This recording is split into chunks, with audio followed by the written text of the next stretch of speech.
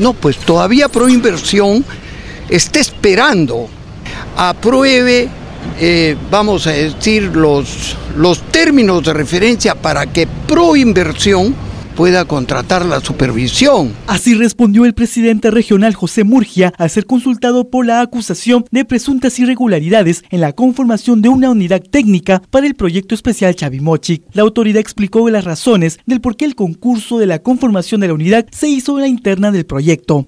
¿Inversión no se hizo un concurso externo en todo caso? No, pues todavía Proinversión está esperando está esperando, a pesar de que hemos estado insistiendo todo el año, está esperando que el Ministerio de Economía y Finanzas apruebe, eh, vamos a decir, los, los términos de referencia para que Proinversión pueda contratar, pueda contratar la supervisión.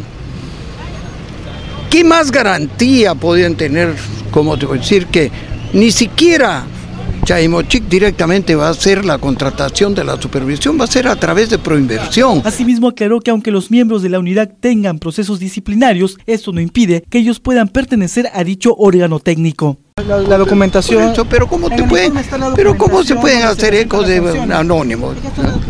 Sí, pero ya pues, ¿quién no, quién, quién no tiene, quién no tiene una observación en la administración pública? Pero eso es lo que hay que preguntar. O tienen observaciones todos los funcionarios, como usted lo dice. ¿Eso no impide que puedan no, De ninguna manera. No impide. De ninguna manera. De ninguna manera.